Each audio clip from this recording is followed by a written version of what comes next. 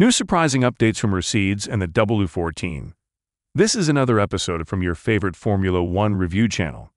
In today's episode, we will talk about the new changes in the team and possible upgrades ahead of the race weekend. But before we continue, I invite you to leave a like on this video. Red Bull's team boss Christian Horner made a bold statement at the end of the Spanish Grand Prix asserting that the newly upgraded W14 is still much slower than the RB19, with Lewis Hamilton in second finishing 23 seconds behind race winner Max Verstappen. These are some improvements the team is undergoing ahead of the Canadian Grand Prix.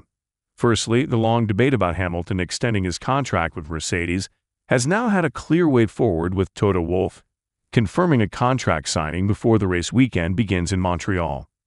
Wolff is optimistic about a new deal being concluded in just a matter of days.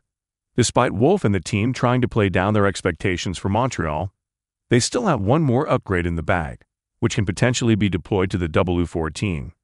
This will be a new rear wing for the newly upgraded W14. With a number of long straights, 14 turns, and pre-DRS zones at the Circuit Gilles de Villeneuve, a lower downforce rear wing option will greatly increase the DRS performance of the W14, which is greatly needed if they are to take on the Bulls in this type of circuit. Mercedes will indeed face a lot of competition from Red Bull and Aston Martin as Fernando Alonso vows a podium finish at the Canadian Grand Prix.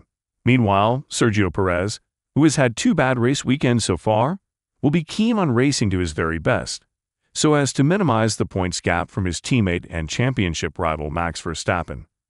Like and subscribe to the channel for more F1 content.